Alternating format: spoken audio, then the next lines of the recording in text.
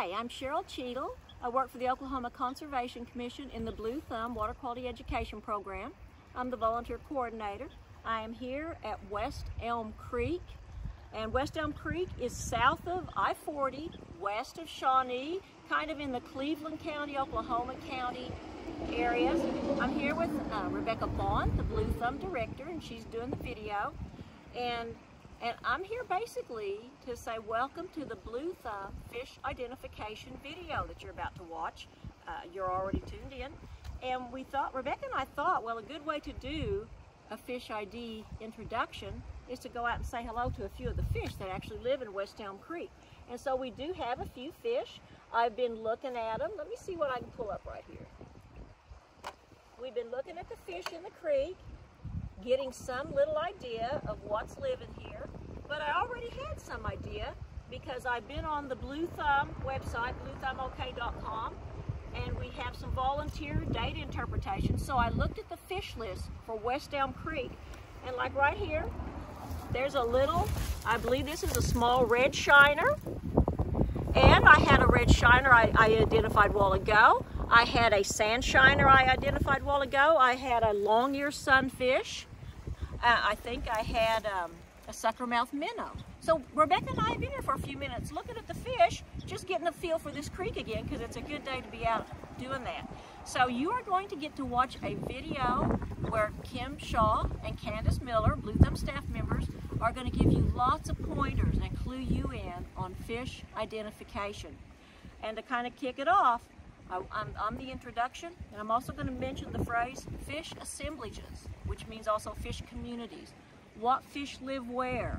Um, what what would we expect to find here? Well, I would Google those fish lists I just mentioned. Uh, and then we pull the seine, and we actually see what fish live here. We try to exhaust lots of different habitats. You can hear a little bit of running water. We're going to be trying to catch fish that live in the running water. We're going to look for some pools because that's another place fish are going to be living. We're going to check out those pools and that you might see bigger fish in the pools because that's a bigger body of water. We're going to be looking at these undercut banks and what, what fish are going to live along the vegetation along the stream. So the fish community is going to be an, it, different for each creek, for each ecoregion in the state. And, and a fish collection will tell us about that community. There are some fish that I might find in northeast Oklahoma they're not going to be here. There are some fish that might be in southwest Oklahoma, and they're not going to be here. But you've got some fish, like a yellow bullhead catfish, like a long-ear sunfish, uh, maybe a stone roller. Those fish might be in lots of different places. But we're, we're going to find some that are going to like western Oklahoma better, or going to like eastern Oklahoma better, or the northeast, the southeast. But the idea is this is just to get you thinking about what fish are we going to find where? How many species do we expect to find? And in West Elm Creek, I counted the species from the most recent fish collection. I think we had about 15. The, the fish collection from 2015 was about, about, I think, 18. Don't quote me, go look it up yourself. But anyway, welcome to Fish ID. Thank you for, for tuning in with Blue Thumb. And keep in mind, that once we get past a pandemic, we'll come out to a creek with you and we'll do this with fish in the flesh, or should I say in the scale.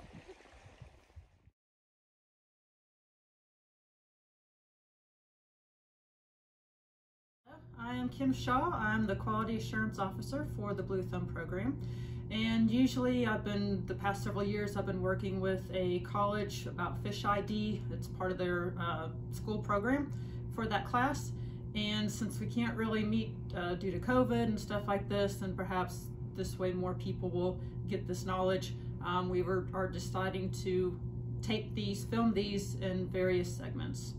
So um, what I'm going to start out with is teaching and explaining about the external anatomy of fish, the different fins and lateral lines and things that uh, we as field people for Blue Thumb uh, used to identify fish in the field. Um, other parts of the fish we really can't use in the field, like uh, internal organs and things like that. So we, as far as our fish ID, we just uh, really look at what the outside of the fish has to offer for us.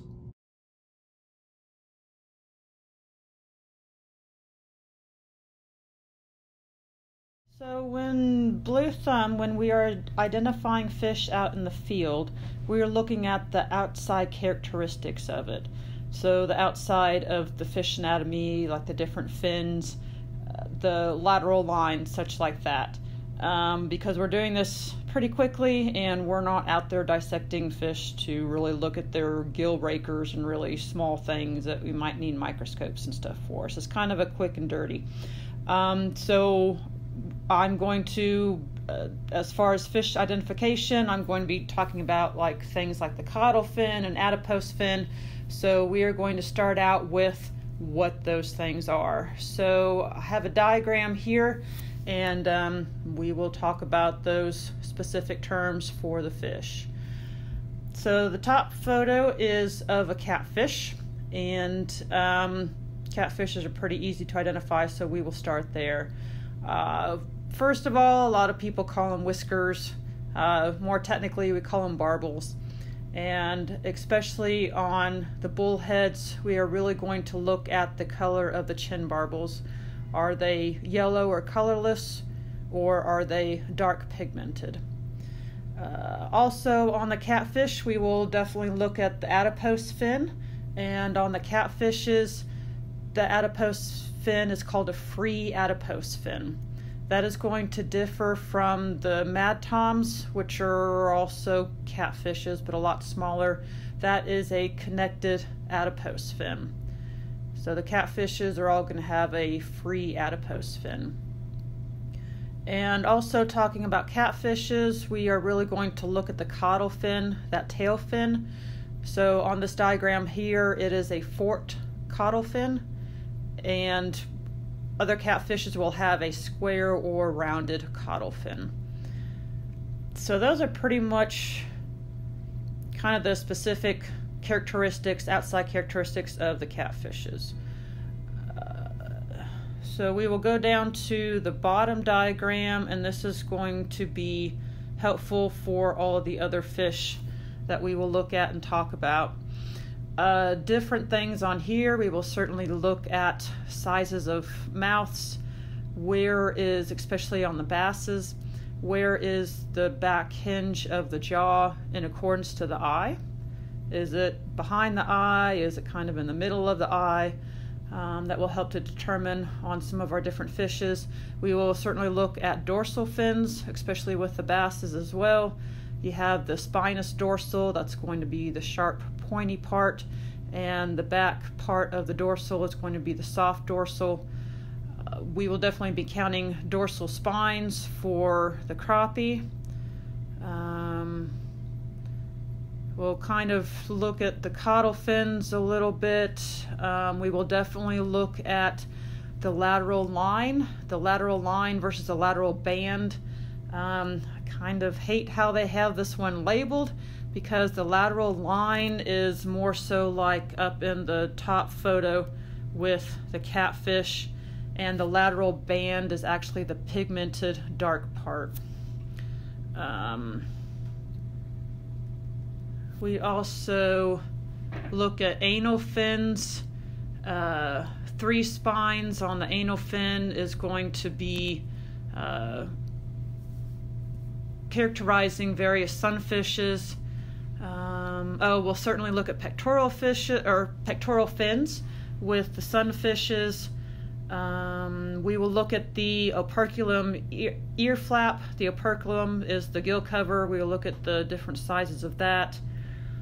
Um, so pretty much everything that's listed on here are things that we will be looking at. Um, the whole purpose of why we study the real live dead pickled fish is because it takes color out of the equation. You can go out to different creeks and especially like long ear sunfishes, they can be all colors of the rainbow. Just kind of depends on their habitat, kind of the seasonality, the coolness or warmness of the water, what they're eating, such like that. Um, so some of them can be more red, some can be more blue, some can be more purplish. Um, but we study the real live dead fish because the pigment is always going to be there whether they're alive or dead. So, like referring back to the lateral band, that pigment will be there even in their death. So um, it just really makes you look at the outside anatomy of the fishes and uh, takes the color out of the equation.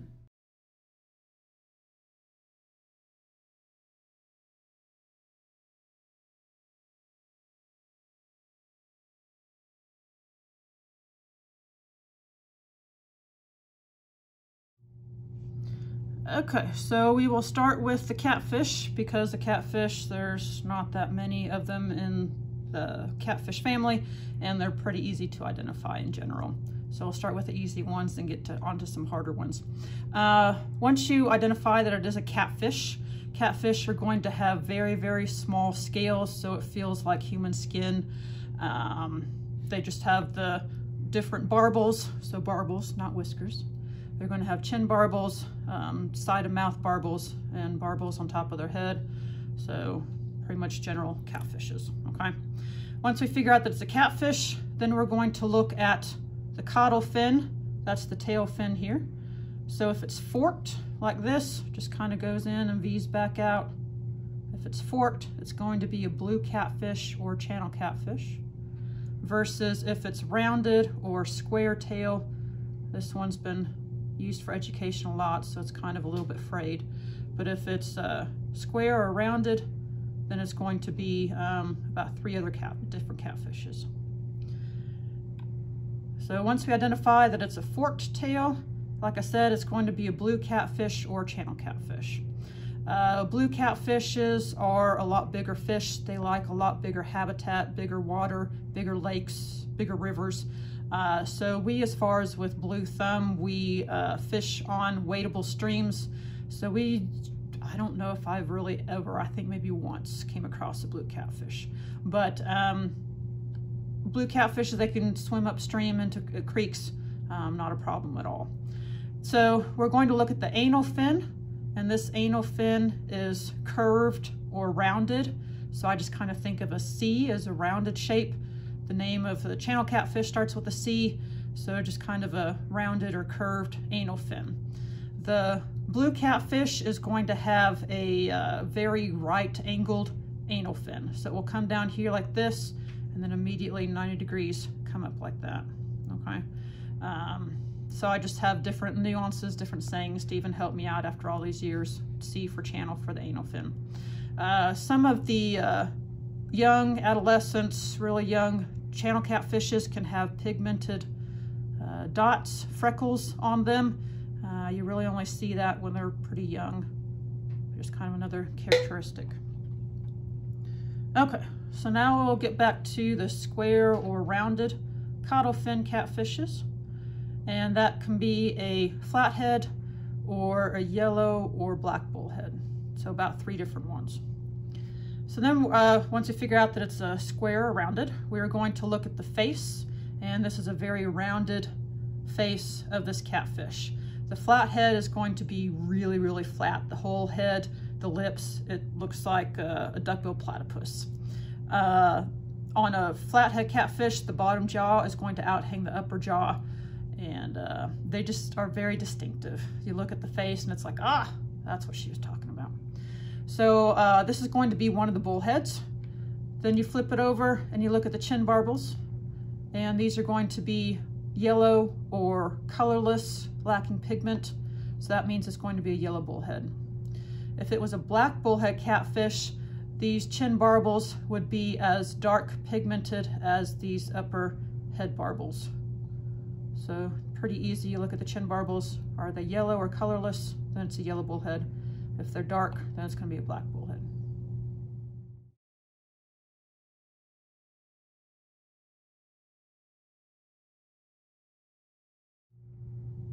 Okay, so now we'll get into the big family called the Centrarchidae family.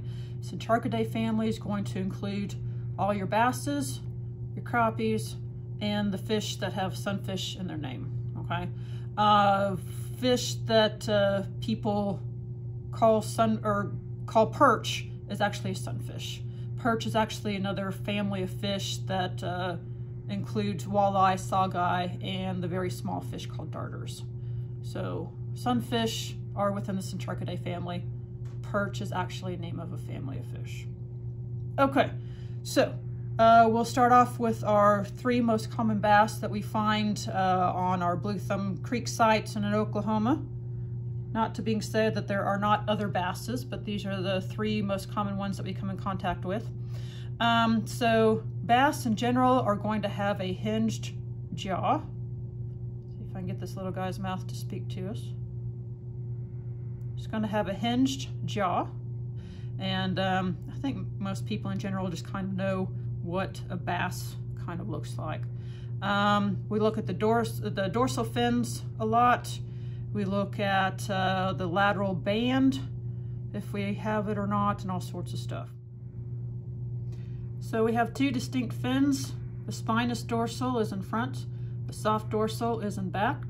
And as far as for the largemouth bass, it has a very deep notch where it looks like two distinct fins. The largemouth bass is also going to have a large hinged jaw. So if you can kind of zoom in, but the back hinge of the fish jaw line is going to be back behind that eye. So even on this kind of smaller fish, that back hinge is going to be back behind the eye. So largemouth bass, large fish just means a large mouth. So a little bit kind of similar fish is going to be the spotted bass. So just kind of to show you on the spotted bass, the dorsal fins look almost like one fin. So this is what we call shallow notched. The, door, the, the spinous dorsal goes right on in to the soft dorsal, okay? You can't really see the back um, like you did on the largemouth bass. The spotted bass is going to have kind of a, a medium mouth. Um, the hinge of the jaw is going to be kind of in the middle of the eye or towards the back end of the eye, but it will not extend past the eye like the largemouth bass. But if you haven't already seen, um, we teach fish this way with dead fish because pigment is very different than color. So this fish is pigmented, it's not colored, okay? Um, so pigments will always stay, the colors will fade and they can be all sorts of colors, but pigments are always here. So if you haven't already noticed, the pigments are very, very different than on the largemouth bass, okay? The spotted bass has a very spotted, a regularly spotted uh, belly, um, kind of the ventral side, the belly side is very spotty and pretty evenly spotted. It will have a lateral band that's different than the lateral line. The band is the pigmented part and it will be um, pretty splotchy, but it will be a pretty complete band as well. Uh, those are about the characteristics of the spotted bass. Our last one that I have here today is, let me show you the better side, is the uh, smallmouth bass. And um, we don't come across these too much. Um, yeah, but uh, the jaw is going to be about the middle of the eye. So smallmouth bass, it's going to follow its name. It's going to have a smaller mouth. The dorsal fins are going to be pretty much like the uh, spotted bass, what we call shallow, shallow notched. The spinous dorsal in front will lead pretty much directly into the soft dorsal in the back there. So it almost looks like the same fin, okay? And um, this one, uh, the pigments, the colors, the pigments are going to be pretty uh, earthy toned and what we call mottled in color, just kind of uh, grays, greens, uh, browns in color. So very different than the largemouth bass. Um, it will kind of have colorization and stuff like that too, but the largemouth will definitely have a lateral band as well, but it will be a lot more complete than the small mouth, than the spotted get all these facing the right way. Spotted's gonna be a little bit more spotty. the lateral band on the largemouth is going to be very complete put together. So there's the three most common basses in Oklahoma. Okay, so now I'll get into some of the sunfishes within the, the Centrarchidae family.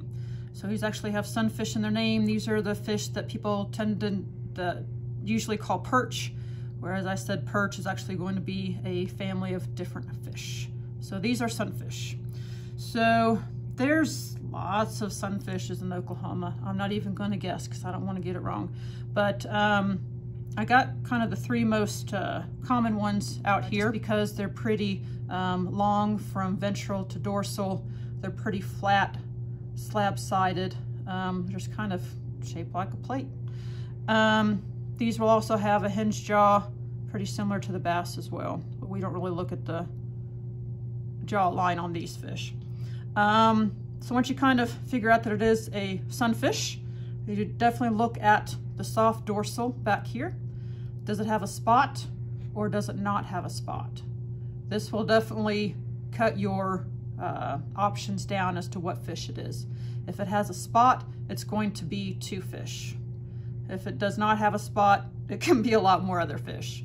But if it has a spot, then the next thing we're going to look at is, let me show you this pectoral fin. This one's less, well, I guess that one's cut up too. Um, so then we look at the pectoral fin. This one is going to be short and rounded. Sorry, I've used this a lot for education, so the rays are really coming apart. But trust me, it would be rounded in real life. So it's short and rounded. It does not, it barely even comes up to the eye. So short and rounded pectoral fin, a black dot in the soft dorsal. Um, these, this is a green sunfish. Um, in general, they're going to be kind of more shaped like a bass. Um, these fish sizes are not the same, I'm sorry. But um, if you can kind of see that this top fish, the green sunfish, is a little bit more torpedoed shape, whereas this bottom fish is more uh, fat from ventral belly to dorsal to back. Um, so the green sunfish is going to be shaped more like the bass. It's also going to have a really huge mouth.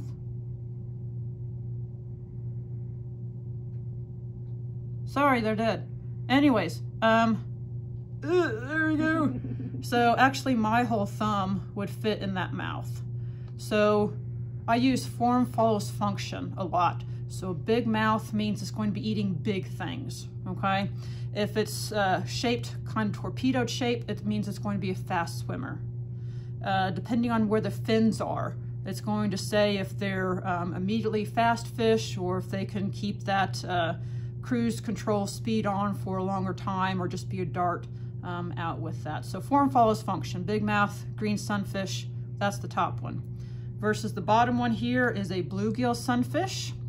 It will also, this one's faint, but it will also have a black dot in the soft dorsal here, okay? The pectoral fin is very long and pointed and it goes up past the head. Okay, very long pointed pectoral fin. It will have bars, pigmented bars, because you can still see it, so that means it's a pigment. It's not really colored. It will have bars radiating up and down. Um, in real life, it will be kind of blue-green bars, okay? And um, this is a bluegill sunfish. So black dot in the soft dorsal, long pointed pectoral fin that goes up past the head and the bars. It's going to be a bluegill. The, sorry, I'll go back to the green real quick. The green is going to be pretty green brown mottled in color. Sorry about that in real life. Okay. Then we will get into a long ear sunfish, very, very common. This is definitely where we say pigment is better to study and identify the fish as opposed to color. Long ear sunfishes, they can be all colors of the rainbow. I've seen them more purple, more bluish, more reddish. Um, it just depends on their habitat and what they're eating and such like that. But uh, this is definitely a very classic long ear sunfish. We look at the opercle ear flap. So it is going to be a lot longer and extended than any of these fish. See that little kind of dark spot in the opercle ear flap of the bluegill? It barely even has a extension at the flap. Whereas the long ear, I mean, it's just long ear. Even compared to the green, the green has a little bit more than the bluegill, but the long ear just really has it. But sometimes, sometimes the long ear can be a lot shorter, but uh, you just gotta look at the other characteristics. There is not going to be a black dot in the soft dorsal. This is gonna have a pretty smaller mouth, eating bugs, small things. So those are the three most common sunfishes that we find in Oklahoma. Okay, so we will get into uh, the crappie. And so these are still within the Centrarchidae family, which include the bass, the sunfish, and the crappie. So um, we pretty much have two common ones in Oklahoma, the white crappie and the black crappie. So these are going to, um, their body plans and stuff are kind of a mix of a bass and a sunfish. Uh, they will have the hinge jaw, just like the bass and the other sunfish do, but they are going to kind of be a little bit more plate-like um, body plan, more like the sunfish. So they're kind of in between a bass and a um, sunfish. Uh, so things that we look for in the crappie is, uh, again, we're, we can still talk about the pigment because the pigment's going to be here. The colors might not be there. Uh, so I just think of white, so W. So these are going to have kind of little bit of W's or bars for the white crappie, okay? Um, this will kind of be um, uh, silvery off white body color and then darker markings as far as the lines, the bars, the pigmented lines that we can see here. But to really distinguish it is you count the spines on the spinous dorsal. The white crappie in general is a smaller fish, so they're going to have less spines. So white crappie is going to have five to six dorsal spines. The black crappie is going to be a bigger fish. It's going to have more, seven to eight. So white crappie has five to six spines. So you got one, two, three, four, five. We have six. Let me just see that. Yep, we got six dorsal spines on this. So we have a white crappie here. Just the hinge jaw, the bars up and down, five to six dorsal spines. Versus the black crappie, so just to tell you about in real life colors, this is going to be a lot darker fish. You can see it has a lot more pigment to it than the white crappie. It will be very mottled in color, um, just earth tones, grays, browns, greens um, will be the fish. So this is a black crappie. It should have seven to eight spines, dorsal spines. One, two, three, four, five, six, and seven. So we have seven dorsal spines, so this is going to be a black crappie.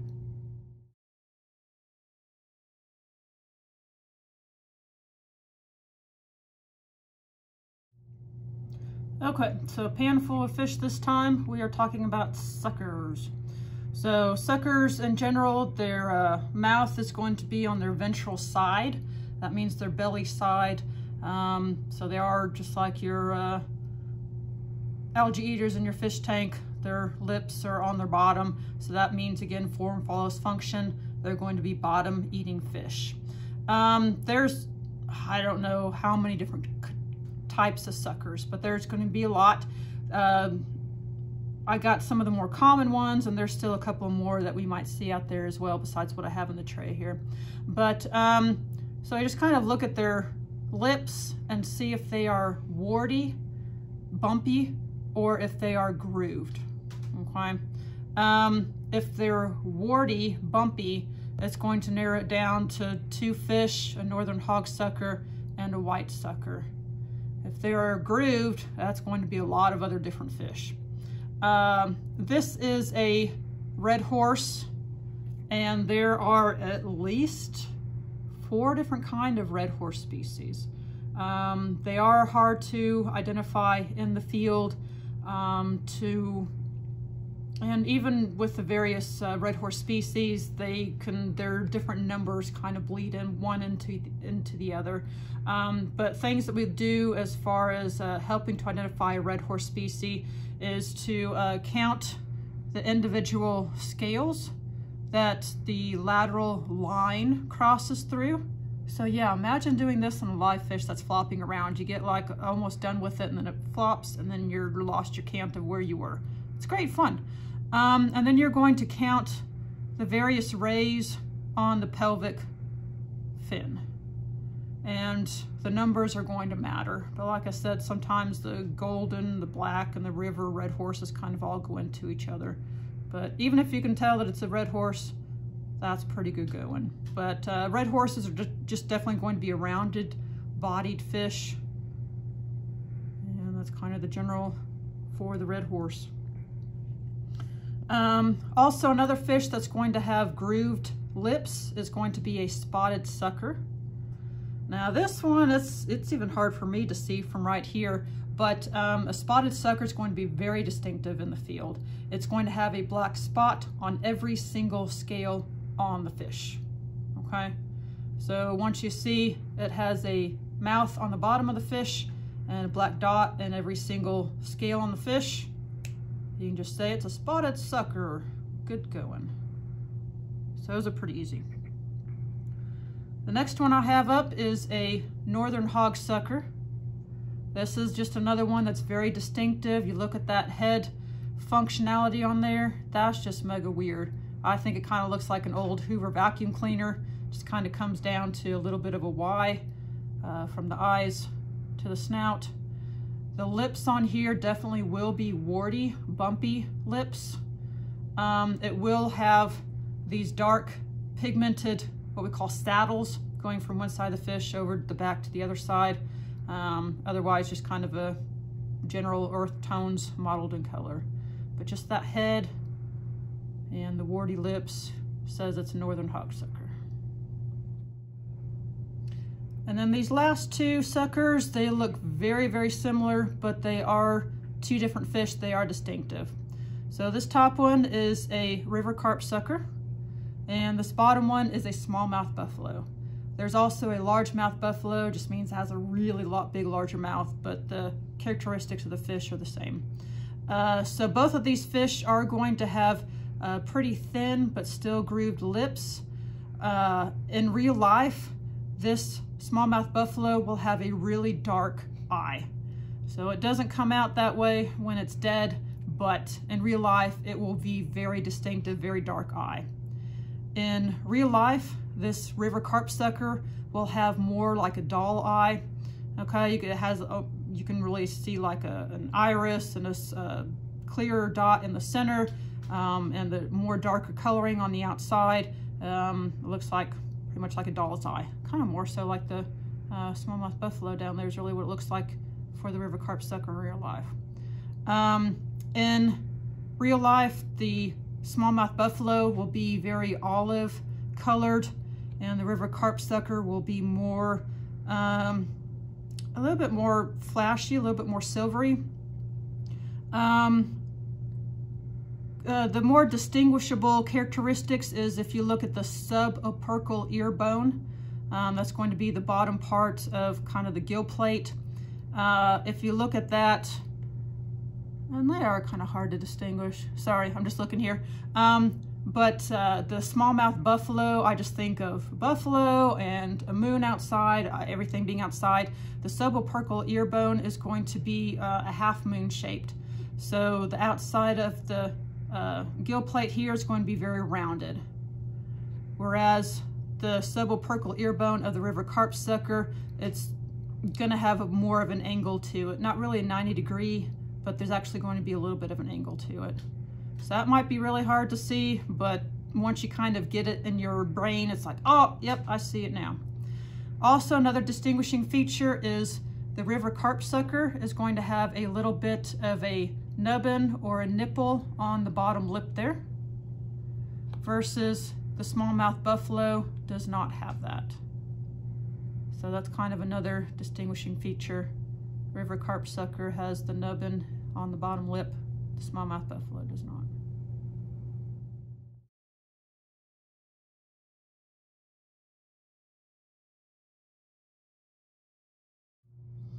Okay, just to show you a little bit about uh, true minnows. true minnows, um, they're Pimephales, and there's three of them. There's a blunt nose, a bullhead, and a fathead. Personally, I don't know the difference between them, especially in the field. You really do have to dissect them, look at their uh, intestinal stomach lining and see if it's a black or silver. Um, some of them, especially in their breeding colors, they potentially can be identified in the field, but um, pretty much I don't know the difference. So we would jug all these and let our fish expert identify them. But I can know that it is going to be one of the three Pimephales brothers because if you look at the scales on the back of the head, they are extremely small and clustered together. Unlike the scales on the rest of the body that are going to be a lot more uh, evenly spaced, evenly sized, stuff like that. So those small clustered scales on the top of the head, uh, dorsal head part of the fish are going to narrow it down to one of three species. Okay, I got two more small fish here for you, but um, people do kind of get them mixed up together. Um, they kind of are similar, but they are very different. So we have a central stone roller versus a sucker mouth minnow. Both are going to be um, kind of suckers. Um, their mouths are on the bottom, so that means they are bottom feeding fish. Your central stone roller here is going to be your classic algae eater out of your fish tank. Um, your suckermouth minnow is going to be eating some small bugs. So a little bit more about the central stone roller. Since the central stone rollers do eat algae, they have a very long uh, intestinal track lining track and um, their bellies will be very, very soft and mushy because they are eating soft, mushy algae. Uh, in real life colors, they will have a uh, top shimmery color and kind of if you're, um, especially in rocky areas, uh, you might see kind of fish kind of swimming that way. And you might see sh some shimmering. Uh, most likely that's probably going to be your central stone roller. Um, there's going to be their mouths are a uh, horseshoe shaped mouth on the very bottom of the fish. It has a hard cartilaginous bottom jaw or lip, however you want to say it, and they're going to use that to scrape the algae off the rocks and eat it. Versus the suckermouth minnow has a pretty similar mouth shape, but the body plan is very different. It is going to be a pretty hard-bodied fish. It will have, you can tell by the pigments on here, it will have a very distinct lateral band. That is the color pigmented part. The upper scales will be darkly outlined, um, kind of an olive color, stuff like that. Um, but it's just a really harder body than the soft belly of the central stone roller. Okay, here's a uh, another fish. This is the common carp. Um, it does come from outside of the U.S., um, not native. It is kind of destructive, um, if you want to call it that, to habitat and such. Uh, it will go, go out with its caudal fin and just really uh, disturb the sediments and make the water really mucky and dark. And as you know, the darker the water, the less oxygen that can be held in that water, especially when it's sunny. Um, but the common carp is also another fish that is going to have barbels, but it is not a catfish, okay? I don't know if you can see kind of here, those bigger barbels kind of on the bottom jaw. It will also have really small barbels on the upper jaw as well but it is not a catfish. And the scales on the fish will be uh, pretty diamond shaped. As you can see, there is pigment on this fish. Um, the scales will be outlined in a dark color, kind of diamond shaped. It will have a pretty long dorsal fin, very different than a lot of other fish here. Um, kind of similar to a uh, freshwater drum, but pretty much um, half of the back is a dorsal fin.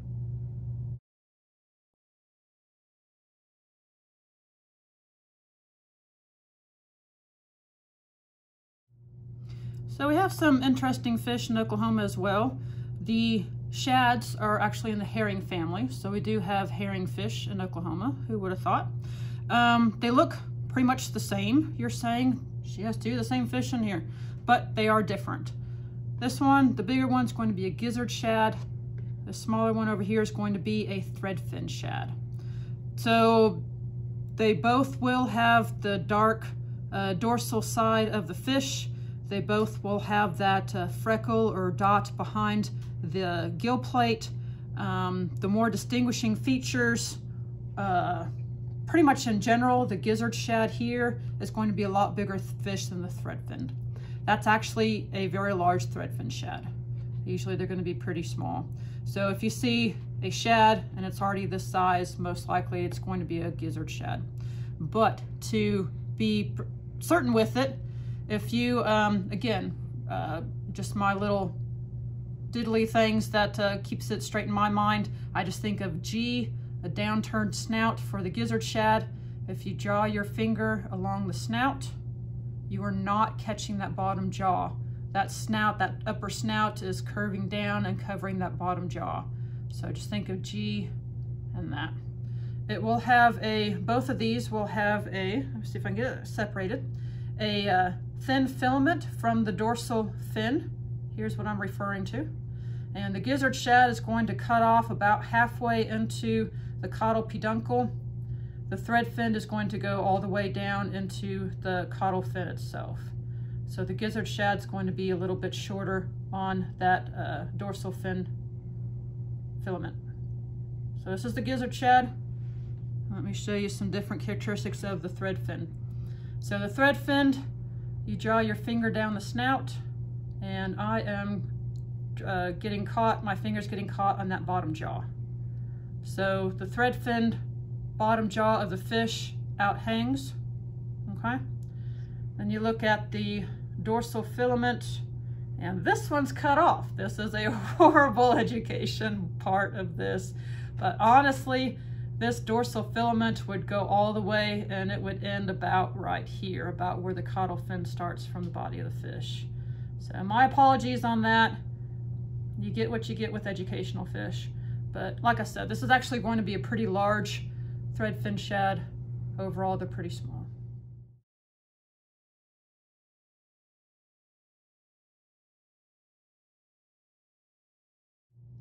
So this here is a mosquito fish. It is native to Oklahoma. It is a live bearer when it uh, gives babies. They are live. This is going to be your classic guppy in a fish tank. They're pretty much the same thing. They are going to be, if you know what a guppy, or the more classic guppies, there are different kind of guppies. But anyways, um, the kind of a uh, bluish, reddish, greenish kind of mottled colors. Um, their babies will come out alive and uh, they're pretty cool looking. Uh, they will eat mosquito larvae, so they are going to be surface feeders. So their back of their, again, form follows function. They have a very uh, straight and flat back. Their bottom jaw, yeah, I don't even know if you can see that, but their bottom jaw actually outhangs their upper jaw slightly. So a flat uh, back and an outhanging bottom jaw means that they're going to be feeding on things um, kind of slightly above them and on the surface of the water. On females that are pregnant, they will have a black dot back here um, in the soft belly portion. Just kind of means, you know, I'm married or I have babies. Uh, don't mess with me, that black dot back there.